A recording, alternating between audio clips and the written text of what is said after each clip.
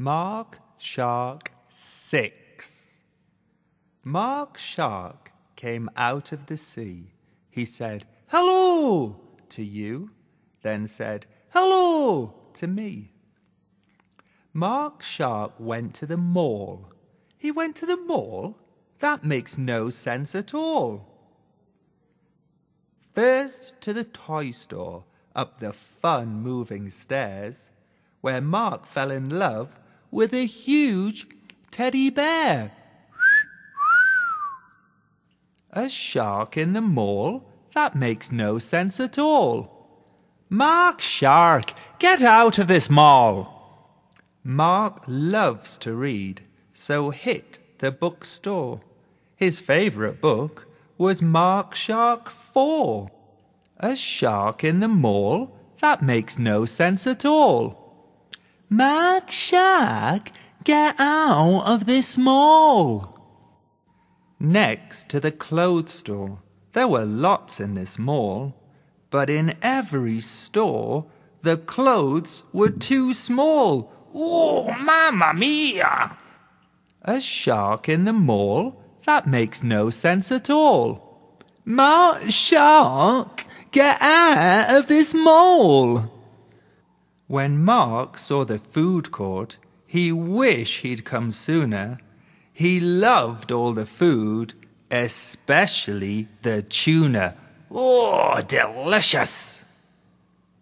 A shark in the mall? That makes no sense at all. Mark Shark, get out of this mall! Mark hit the arcades. He so wanted to stay so Mark leapt in the fountain to find coins to play. A shark in the mall? That makes no sense at all. Mark Shark, get out of this mall. The mall had a cinema. It was really quite groovy. Soda and popcorn, his favourite movie. A shark in the mall? That makes no sense at all. Mark Shark, get out of this mall.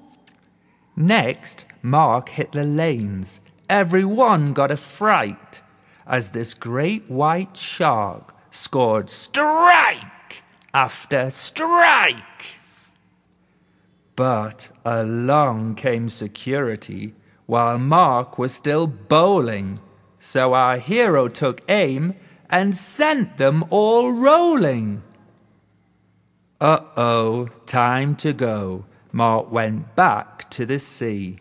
He said, Goodbye to you, then goodbye to me. Now Mark's all tired and sleepy on his seabed so blue. He said, Good night to me, then said, Good night to you. The end.